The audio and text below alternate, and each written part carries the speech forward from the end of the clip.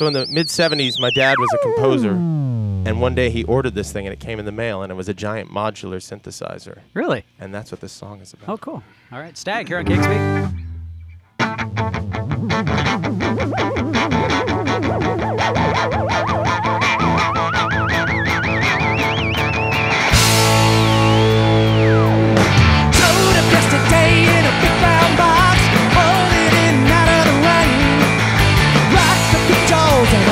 Those chords, and there she stood in front of me.